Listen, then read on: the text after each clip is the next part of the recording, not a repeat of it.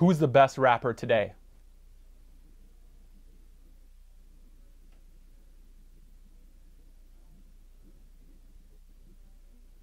Mm, mm, it's it got to be a combo because like I love Jay Z. Um, right now, Lil Baby got the spotlight. He is not he's not playing. So I mean, I, greatest rapper today still Andre 3000, uh, uh, uh, uh, uh Uh, Jay Z, and possibly Lil Baby.